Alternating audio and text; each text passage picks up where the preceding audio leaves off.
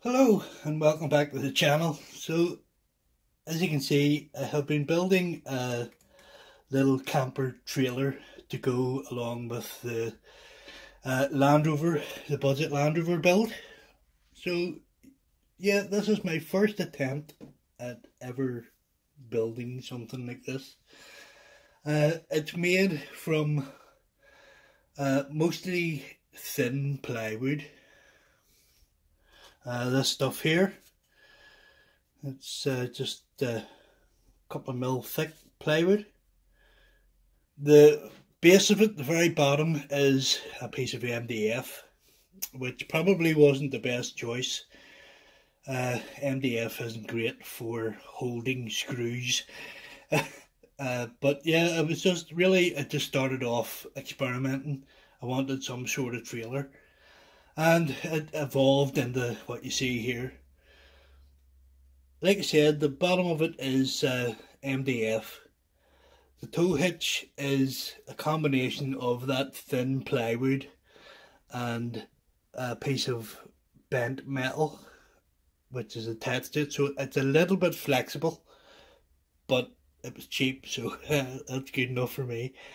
The axle is uh, length of uh, 4 mil M4 threaded rod which passes through a length of M5 brass tube. So the, the two wheels are locked together which isn't perfect but it was the cheapest way I could do it and then I just have these little clamps holding the brass rod in place. Around the back here I have an opening door uh, have a load of stickers and stuff stuck on it there just to sort of try and uh, make it a bit more realistic. So I, I need to put some sort of handle here because I'm actually starting to chip the paint off with my fingernail trying to get this, this back door open. So I have it held closed with uh, magnets.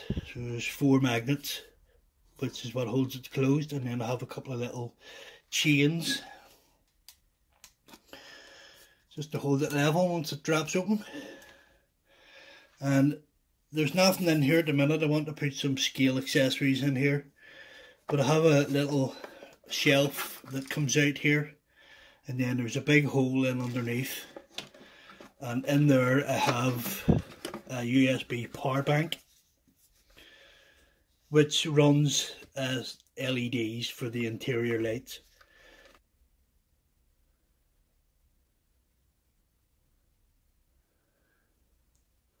At the front here uh, I have added some uh, grab handles. Just for another little bit of uh, realism. This box uh, wasn't originally there but uh, what I failed to incorporate into the design was the balance of the trailer so before I put this box on, it was uh, very tail heavy. So the wheels, the wheels don't actually sit right in the very center of the the camper. So I can't move them back any further because of the door. So I had to put some weight up the front because it was just lifting the suspension of the Land Rover and then it was driving along like that. So I put this box on the front of it, which is full of lead. Basically, I used some uh, lead flashing that you would put around your roof, the roof tiles, which is all sort of folded up, and that's full of it. So there's, I don't know what sort of weight I didn't weigh so, but it, it has balanced the truck out, or the trailer out a lot. So now if you lean it forward, it stays forward. If you lean it back, it stays back. So it's pretty good, pretty well balanced. It is actually sort of nose heavy, which uh, allows it to ride level once it's attached to the Land Rover. I added this little gas bottle to the front hitch, which uh, is just another little bit of uh, scale realism got this uh, gas bottle on eBay. I added the little bit of rubber hose myself, which sort of disappears down underneath the trailer. And I put the little chain on myself as well. And on the sides I have this uh, door here which doesn't open. Uh, I have a little couple of little hinges here, but so the door is made out of the same type of wood. The hinges are actually uh, barbecue skewers painted silver. so that yeah, that doesn't open. It's just there for looks. The logo on the side of it is actually painted on. So I downloaded an image off the, the internet, printed it out on paper, and then I cut the the mountains out of the paper with a, a scalpel, and then uh, yeah, glued it down, spread it, peeled it off. So yeah, really really happy with that. It turned out really nice. So this door into the camper does open. and I also have a removable roof so that I can get my hand inside to uh, move stuff about and set up my characters and stuff. This uh, tube on the side here isn't uh, an awning which is probably what most people think it is when they look at it. So uh, if I take the cap off here I tilt it forward, give it a little shake, and inside I have two fishing rods. So I made these two little fishing rods myself. Again, they're made out of uh, barbecue skewers. The little rails on it are made from styrene and the hooks are also made from styrene piece of thread and I went as far as making little uh, floats for the end of them. So the windows are made from thin plastic packaging. I think it came off one of the kids' toys or something. So yeah, just use them and I put a frame around the edge of the windows just using thin styrene again which is painted black. Removing the roof section allows me access to the inside. So it's not a very good angle here, but I have uh, kitchen cupboards. None of the cupboards open. Uh, so they are just, it's, again, it's made out of the same thin plywood get you a better angle there. So I have a tall cupboard here and then we have a, a worktop that goes right to the front. And little sink. The sink is made out of uh, uh, marmalade sachet. it's the same as I made the sink for my scale garage in the loft. Uh, more cupboards along the bottom there. I have a little plant sitting on the worktop here. It's another little dollhouse item. The curtains are made from paper. I just printed the pattern on both sides of a plain piece of paper and then folded it into a fan shape. Punched a hole in the top and then fed it onto this uh, metal rail which is then glued to the side wall. Along the opposite wall here I have a bench seat with uh, removable covers or removable cushions and that actually uh, pulls out into a bed so uh, I'll show you that now it's a little bit awkward for me because my hand's too big to get in there so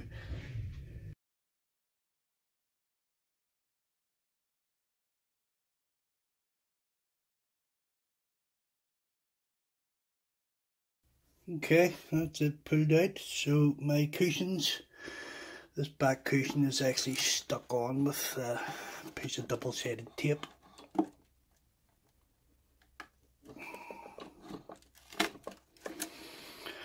Uh, I do plan on fitting a magnet to that. So yeah, again, my cushions are just the same plywood. This one is two bits of wood thick and this one down there is a single piece thick. And it can drop that in. And there we have our drop down bed or pull out bed. And the whole trailer was modelled or scaled for my 7 inch figures. And just above Aisha's head, I know it's quite hard to see, I have a shelf there.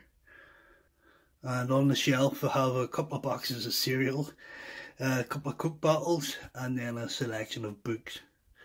Which are all glued into place and I have a glamour calendar on the wall there just beside Aisha's head which is actually displaying the right month and year. And on the back wall here I have a, a television, a TV, flat screen TV. So it's a, a, slightly better look at it there. So it's another uh, dollhouse item. It doesn't do anything, it's just a black plastic screen on it. But it does have some nice little details on it, like uh, the functions and stuff along the bottom there, the brand names, uh, it did have a stand on it, uh, but I sliced that off just so I could mount it on the wall there. And I made this little camping stove uh, to add a little bit of realism again. Um, it's made from thin styrene.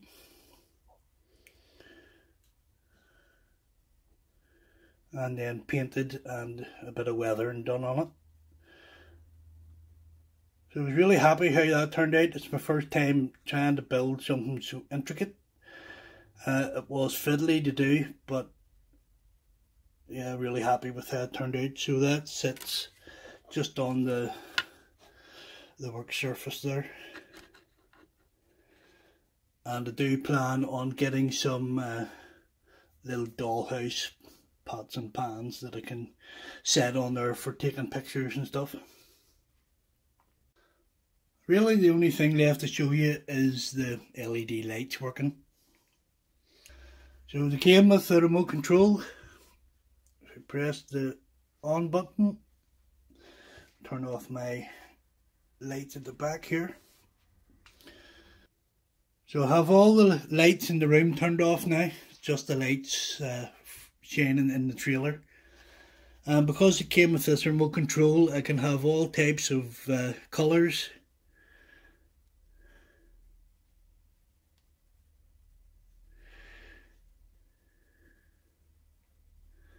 And I can even have uh, flashing disco lights. Different sequences of uh, flashing there as well which is a, a, cool feature so that's it that is my scratch built uh, camping overland camping trailer I have uh, magnets on the door here as well just to hold that shut. And it, there's a couple of magnets on the, the panel for the roof as well to hold it on. So that's it. I hope you enjoyed looking at that. Uh, if you have any suggestions, uh, if you spotted something and you have any questions about it, please let me know. I just fixed my curtains here.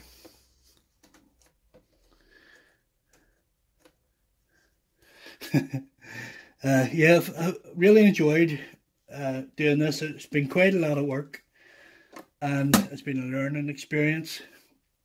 But I think I'm going to build another one. I'm actually hoping to build the same sort of thing, only slightly bigger uh, for my next project.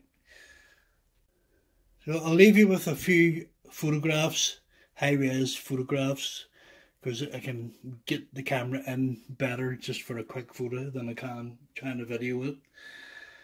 So thanks for watching guys. I'll catch you in the next video. Bye for now.